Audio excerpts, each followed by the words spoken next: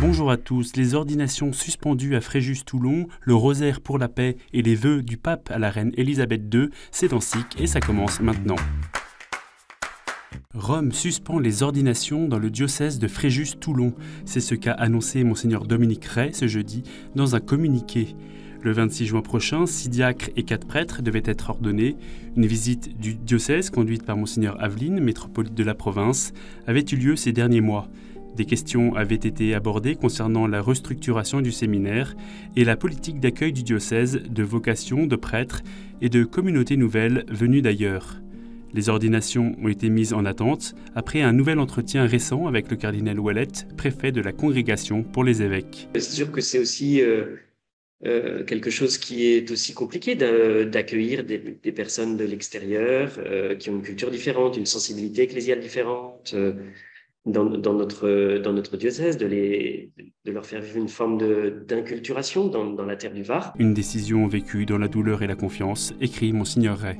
Il y a une forme de, enfin, voilà, de, de, sidération, de choc, et puis d'étonnement, de, colère, d'incompréhension, parfois de tristesse. Euh, C'est vraiment une situation difficile puisqu'ils étaient euh, depuis des années préparés à cet événement et qu'ils se réjouissaient déjà. Euh, L'invitation que que Monseigneur leur, a adressé. C'est une invitation à la confiance, à la confiance dans l'Église, à la confiance en Dieu, à l'espérance. Sera, a te particolarmente consacrato, eccoci di nuovo dinanzi a te, Regina della Pace, per supplicarti concede il grande dono della pace. Pour conclure le mois de Marie, le pape avait invité les fidèles du monde entier à s'unir en priant le chapelet pour la paix ce mardi 31 mai à 18h. Devant la statue Marie, Reine de la Paix à la basilique Sainte-Marie Majeure à Rome, le pape François a récité ce chapelet.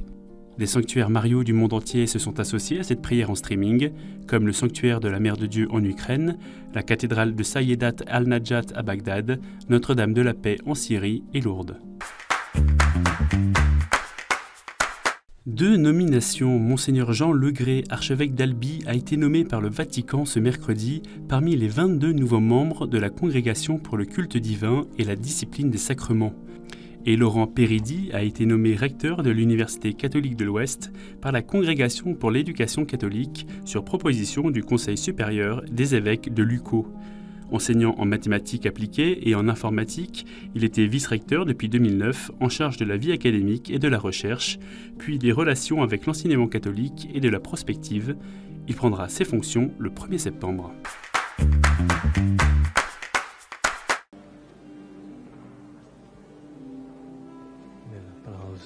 Le corps du bienheureux Carlo Acutis est désormais exposé en permanence à Assise, dans la basilique Saint-François d'Assise. Ce mercredi, l'évêque d'Assise a rouvert le tombeau du jeune bienheureux à la fin de la messe. E questo perché tutti possano fare l'esperienza di questo incontro con una bellissima figura ecco, di santità del nostro tempo che mentre presenta il suo corpo mortale, perché il suo corpo mortale però ci ricorda la bellezza della risurrezione e la bellezza della santità. Les pèlerins pourront venir en continu pour vénérer le corps du jeune béatifié en 2020, mort à 15 ans d'une leucémie foudroyante. Passionné d'informatique, ce geek de Jésus avait une grande dévotion eucharistique. Pour la première fois dans l'histoire, vous verrez un homme béni vêtu d'un jean, de basket et d'un t-shirt. S'était amusé monseigneur Sorrentino peu avant sa béatification. Le pape François a adressé ses vœux à la reine Élisabeth II à l'occasion de son jubilé de platine.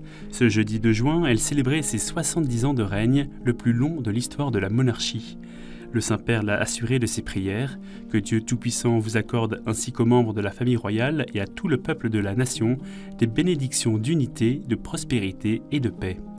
À 96 ans, celle qui est chef de l'Église d'Angleterre a connu sept papes depuis son avènement. Sa dernière rencontre avec le souverain pontife a eu lieu en avril 2014. La coupe aux grandes oreilles offerte à la Vierge Marie. Après leur victoire contre Liverpool samedi 28 mai au Stade de France, les joueurs du Real Madrid se sont rendus le lendemain dans la cathédrale de la Almudena à Madrid pour offrir à Notre-Dame leur 14e titre en Ligue des Champions, une tradition après chaque trophée des Madrilènes.